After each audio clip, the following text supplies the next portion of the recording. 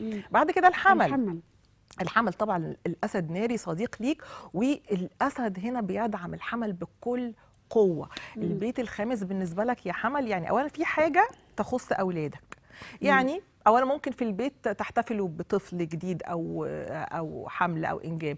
ممكن يبقى في حاجة تخص خطوبة أنت كمان زي القوس أو زواج أو ارتباط. عندك حاجة تخص سفر حركة السفر أنت كمان منتعشة. فبرضو البيت الخامس بالنسبة لك طبيعة الوقت كمان كلها استمتاع وفسح وخروج يعني وقتك مليء بالتنطيط.